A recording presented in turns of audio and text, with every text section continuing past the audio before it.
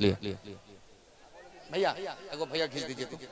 यहाँ। यहाँ समझ समझ दे दी ठीक थैंक यू दे दी आइए। माइक हवाले करूँगा सीधे। सुराही भी सुराही भी समंदर से टकराए कि बादल को पसीना आ जाता है। सुराही भी समंदर से टकराए कि बादल को पसीना आ जाता है।